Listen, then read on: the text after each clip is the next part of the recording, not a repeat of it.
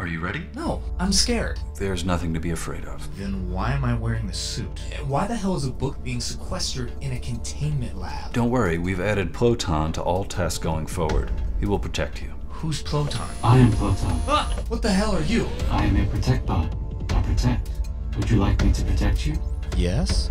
Book number 1746, Outlander. Like the show. No, the books are very different. The books are sexually explicit. Like the show. No, the show is very toned down, not dangerous.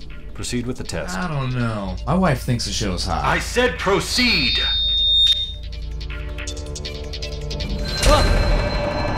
You are in danger.